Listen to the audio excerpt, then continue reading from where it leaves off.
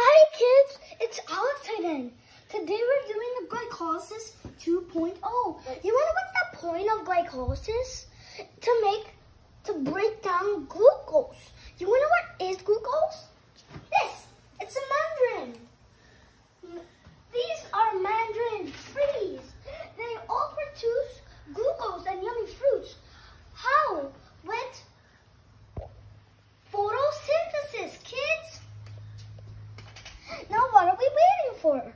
Let's start. Glu and our body breaks down the glucose. What are we waiting for? Glucose becomes glucose 6-phosphate. How? Hexokinase.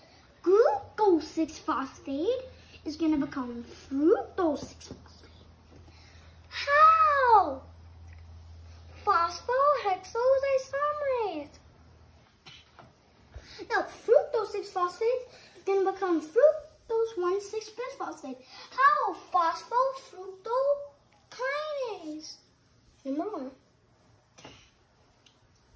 Now, fructose 1,6-bisphosphate splits up into two molecules, dihydroxyacetone phosphate and glyceraldehyde 3-phosphate.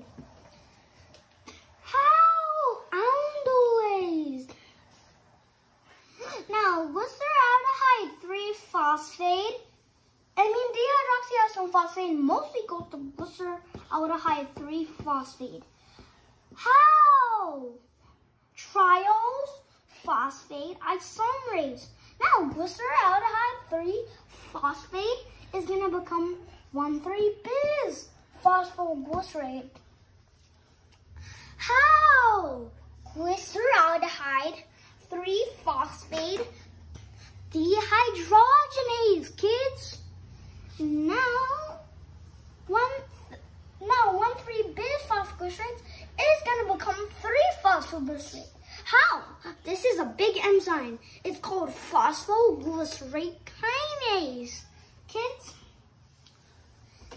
now 3 phosphoglycerates can become 2 phosphoglycerate. How? Phosphoglycerate mutase, kids. Now, two phosphoglycerates are going to become phosphoenolpyruvate. How? Enolase, kids. Now, phosphoenolpyruvate is going to become pyruvate. How? Pyruvate kinase. And you need to practice these words. And the enzymes. Like, keep practicing and practicing. Okay, bye. I hope we hit 1,000 subscribers. Bye.